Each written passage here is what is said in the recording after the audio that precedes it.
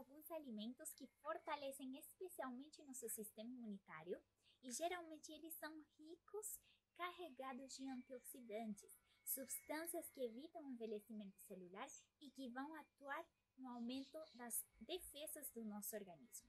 Temos o grupo dos cítricos, por exemplo, ricos em vitamina C, que temos, por exemplo, laranja, limão, tangerina, entre outros.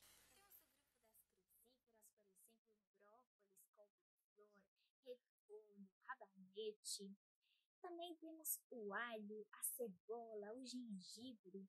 Temos o grupo dos frutos vermelhos, como mirtilhos, framboesas, ah, os morangos, açaí, jabuticaba e também algo que é mais fácil de achar aqui no Brasil, ameixa. Todos eles têm importantes fitoquímicos que vão atuar aumentando o nosso sistema imunológico.